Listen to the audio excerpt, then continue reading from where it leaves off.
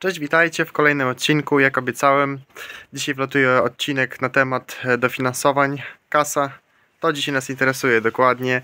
Będziemy opowiadać o dofinansowaniu, jak najwięcej go pozyskać.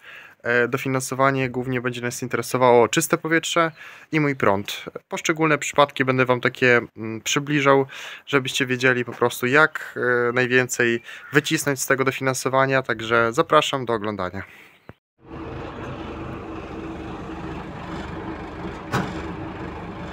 Tylko trochę dziś zmieniło wygląd, bo tak naprawdę no same, same palety stoją z panelami na całym podwórku. E, no tam z czasem to będzie schodzić już tak, bo mam teraz sporo montaży, to praktycznie wszystko będzie jechało do klientów, e, ale no na razie podwórko, no co prawda ogarnięte, no ale całe zostawione i tak to wygląda. Dzisiaj filmik trochę będzie statyczny, bo też dzisiaj praca biurowa, trochę więcej na miejscu, bo dosyć zimno. Yy, będę Wam wyliczał dokładnie, jakby to się każdemu kalkulowało. Mam na myśli, podam różne przypadki i tak naprawdę komu jakie dofinansowanie bardziej, bardziej będzie pasować, o tak powiem. Więc przygotowałem już trochę dokumentów i z grubsza opowiem o tych dwóch dofinansowaniach. Więc tak, e, dofinansowanie czyste powietrze to jest dofinansowanie, o którym teraz dużo bardzo trąbią w telewizji, bo to generalnie jest dofinansowanie na modernizację budynku. Modernizację budynku rozumiemy przez e, wymiana pieca, e, fotowoltaika, kolektory, ocieplenie budynku, ocieplenie, czyli elewacja, okna, docieplenie dachu i tak dalej, i tak dalej. Także tak naprawdę na wszystko to jest dofinansowanie. Dofinansowanie generalnie jest e, bardzo popularne, bo prawie jest tam, nie wiem, chyba 6 czy 7 lat Instytucje gminne też się tym zajmują, także w gminie nawet można to dofinansowanie całe przeprowadzić. No ale też są firmy czy osoby, które po prostu składają to dofinansowanie i raczej to polecam, tą opcję osób e, do wybierania, bo one po prostu Wam wyliczą na tak, e, tak żeby po prostu wyszło jak najlepiej, jak najkorzystniej dla Was. Dofinansowanie generalnie yy, bazuje na wymianie pieca. Co przez to możecie rozumieć, to generalnie na przykład jeżeli chcecie dostać dofinansowanie tylko na fotowoltaikę z czystego powietrza, to nie dostaniecie, bo i tak warunkiem będzie wymiana pieca. E, jeżeli wymieniacie piec, to możecie potem e, ewentualnie dostać na, na całą tą resztę. Także piec tutaj jest podstawą. Generalnie e, dofinansowanie, tutaj głównym kryterium jest to, że pozbywamy się starego źródła ciepła. Mamy piec, przykładowo kopciuch. Kopciuch e, jest e, demontowany, musimy go zezłomować lub po, prostu uzyskać jakieś zaświadczenie o tym, że złomowaliśmy stary piec e, i jeżeli mamy to zaświadczenie, to ono jest potrzebne do dofinansowania. Możecie to zrozumieć tak piece typu piątej klasy, y, gaz y, czy mm, nie wiem, pompa ciepła, jakbyście mieli, chcieli ją zezłomować, no to nie dostaniecie dofinansowania na to, bo to nie jest piec y, nieefektywny. Piece nieefektywne to tylko tak naprawdę w piec efektywny łapie się piąta klasa, piec czy jako groszek, czy tam pelet, zwyczajny piec, gaz oraz pompa ciepła. To są efektywne źródła ciepła. Więc mamy te zaświadczenia ze złomowaniu i tak naprawdę o to dofinansowanie możemy się ubiegać. Dofinansowanie całe czyste powietrze możemy złożyć przed całą realizacją, czyli pierwszo składamy dokumenty, i dostajemy informację y, dokładnie w jakiej kwocie dostaliśmy to dofinansowanie i wtedy możemy ruszyć z całym projektem. Na wykonanie całej inwestycji mamy 2,5 roku, y, jak dostajemy to dofinansowanie. E, I e, tak naprawdę na początku trzeba do niego prawidłowo podejść, aby uzyskać jak najwięcej e, zwrotu. Tam jeszcze nie wspomniałem o jednej rzeczy, dofinansowanie też może składać bank. Bank składa dofinansowanie i bank, bo to są banki, które są, współpracują z Narodowym Funduszem Ochrony Środowiska i Gospodarki Wodnej i one mają zdecydowanie najszybciej decyzję, bo one nawet w tydzień czasu są w stanie Wam już powiedzieć, czy dofinansowanie dostaliście i w jakiej kwocie. Więc to taka ciekawostka ciekawostka. E, samo jako ja też współpracuję po prostu z bankiem, który to dofinansowanie składa. A już przejdę do e, mojego prądu. Mój prąd dofinansowanie to dofinansowanie na e, tutaj podstawą całą jest fotowoltaika. Jeżeli zakładamy instalację fotowoltaiczną, to możemy dostać dofinansowania. Tutaj mam ściągę, bo dużo tego jest. Pompa ciepła, magazyn ciepła, magazyn energii, klimatyzacja oraz e, tej system zarządzania energią, e, kolektory słoneczne oraz to jest jakby A, sorry, to już wszystko. E, I jakby podstawą jest fotowoltaika. Możemy wziąć na samą fotowoltaikę, tak samo jak w czystym powietrzu, na sam, e, na sam piec i tyle. A możemy dołączyć resztę rzeczy.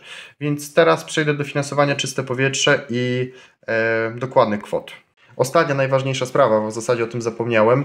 Dofinansowanie czyste powietrze jest uzależnione od dochodu, czyli mm, jeżeli e, z PIT-u przekraczacie 135 tysięcy złotych za zeszły rok, to dofinansowania czyste powietrze nie uzyskacie. Mój prąd nie jest uzależniony od e, dochodu i to jest dosyć fajna sprawa dla osób, które mają na picie mm, teraz wysokie kwoty, bo powiedzmy, jeżeli przekraczasz te 135 tysięcy i wcześniej nie mogłeś dosyć żadnego dofinansowania, teraz możesz skorzystać z mojego prądu na pompę ciepła, mam na myśli oczywiście, czy na jakiś e, inny piec, ale tutaj mówimy o pompie ciepła raczej dzisiaj.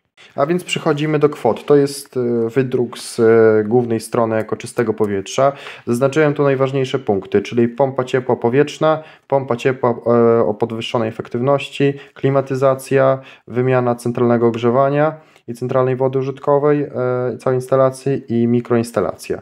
Więc tak, generalnie o co chodzi od tej, z tymi dwoma pompami ciepła? Tu jest o E, podwyższonej klasie, tu o niepodwyższonej klasie. E, zazwyczaj już większość firm, które montuje pompy ciepła, montuje pompę o podwyższonej klasie, no ale powiedzmy, jakby ktoś się za bardzo nie znał, złożył dofinansowanie na zwyczajną pompę, no to jest duża różnica w samym podstawowym dofinansowaniu, już ja nie mówię o formach rozszerzonych. E, także pompa musi być o podwyższonej efektywności, żeby uzyskać jak najwyższy zwrot i już mówię po kolei, jak to wygląda. Ta tabelka to jest podstawowa tabelka, czyli tutaj, jeżeli te 135 tysięcy złotych dochodu e, nie przekraczacie, to te dofinansowania Wam przysługują. Pompa ciepła 19400, klimatyzacja e, 4400, wymiana tam centralnego ogrzewania centralnej wody użytkowej 800 i fotowoltaika e, 6000. I teraz przygotowałem sobie taką ściągę żeby Wam tutaj dalej zobrazować przykłady.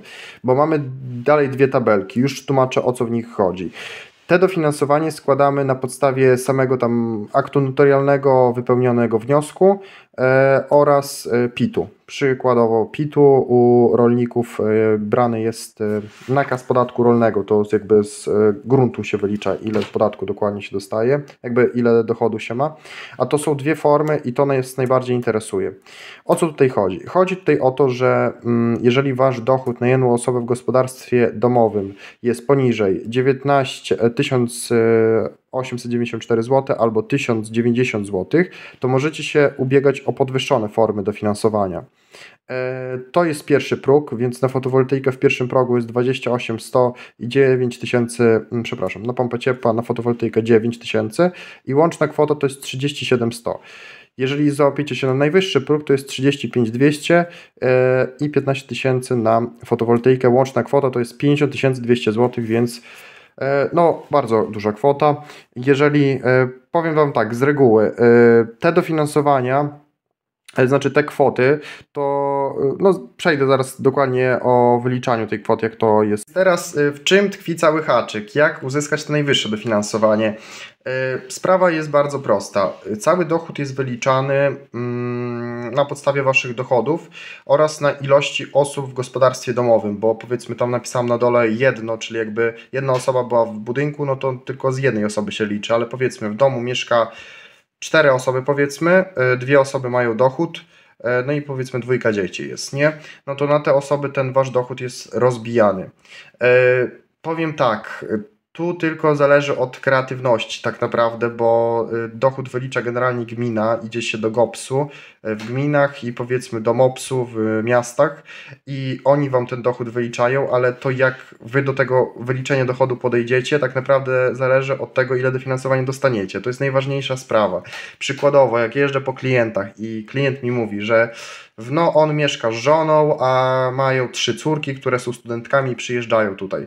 No ale powiedzmy, one tu mieszkają, czyli te córki też możemy włączyć do, yy, do dochodu i ten dochód znacznie nam się zmniejszy na jedną osobę w gospodarstwie, więc to jest warto tak po prostu przemyśleć, jak ten dochód wymyślić albo z kimś to skonsultować.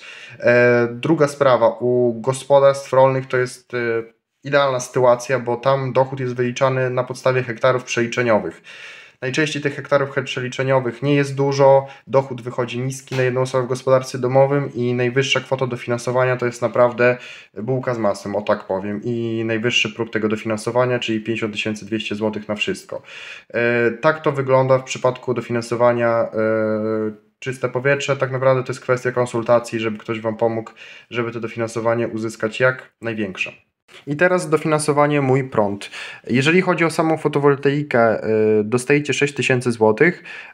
7000 zł dostajecie na fotowoltaikę, jeżeli bierzemy dodatkowe, mm, no jeżeli dodatkowo montujemy coś e, z tego asortymentu.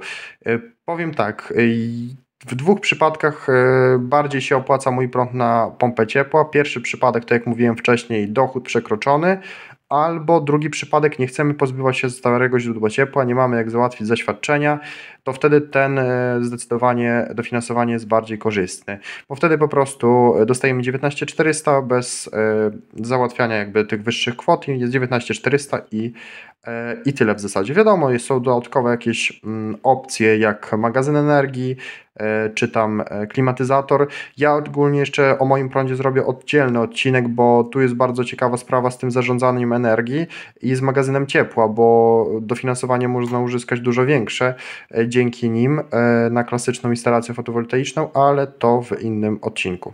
No i teraz tak, niby wszystko pięknie, ładnie, wiadomo, koszt inwestycji samej pompy ciepła i fotowoltaiki jest dosyć spory.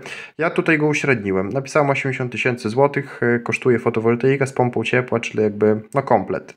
E, I teraz tak, czy ja muszę mieć te 80 tysięcy złotych? Nie. E, dofinansowanie czyste powietrze, jak mówiłem wcześniej, można składać przez bank. Jeżeli składamy dofinansowanie przez bank, to on dofinansowanie te przejmuje na siebie. Co znaczy, że my bierzemy przykładowo e, kredyt, jeżeli potrzebujemy, albo tego kredytu nie bierzemy, mamy środki własne i e, nas dofinansowanie mm, jakby nie obchodzi, tak? Bank je po prostu przejmuje. W tym pierwszym przypadku cały koszt inwestycji zamyka się 54 600, w drugim przypadku 42 900, a tu no w trzech dychach zamykamy cały temat.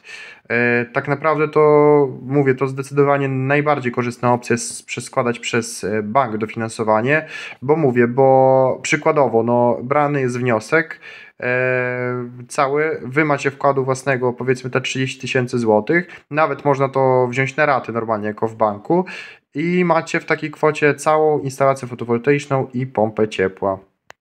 A więc z grubsza to tyle. E, oczywiście, jak mówię, z każdy przypadek jest inny. To trzeba e, wyliczyć. Oczywiście e, zachęcam do kontaktu. Ja wtedy sam Wam to wyliczę i powiem, jaki przypadek u Was, czy mój prąd, czy czyste powietrze byłby najkorzystniejszy. Kwoty mogą być wyższe, dofinansowanie jeszcze oczywiście, jeżeli będziemy wymieniać centralne ogrzewanie, centralną wodę użytkową instalację, tu to się rozumie przez e, po prostu wymianę grzejników albo e, robienie podłogówki. Jak dostajecie na to fakturę, to też e, na to jest dofinansowanie. Przykład mojego prądu jeszcze Wam omówię w następnym odcinku dosyć szerzej, bo nowy prąd, mój prąd, ten nowy, wszedł od półtorej tygodnia. I to jest świeży bardzo przypadek, ale moim zdaniem to dofinansowanie no, może być mega dobre, szczególnie do instalacji fotowoltaicznych, bo y, jak sobie wyliczałem instalację 5 kW y, w przypadku tego dofinansowania, można mieć nawet za 15-14 tysięcy złotych y, i to z zarządzaniem energii na super zestawie, bo tak to dofinansowanie zostało ułożone. Ale to już w następnym odcinku nie będę się rozgadywał, bo i tak sporo informacji jak na raz. E, także jak mówię, jeżeli macie jakieś pomysły na odcinek, to e, napiszcie na dole i, i nagram Wam na pewno. No, tyle. Także lecę, e, bo głodny jestem. Trzymajcie się do następnego. Cześć.